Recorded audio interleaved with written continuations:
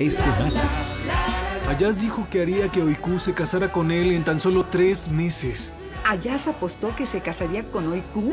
Todos tenemos secretos, pero tarde o temprano, un día todo se descubre y ese momento es justo ahora.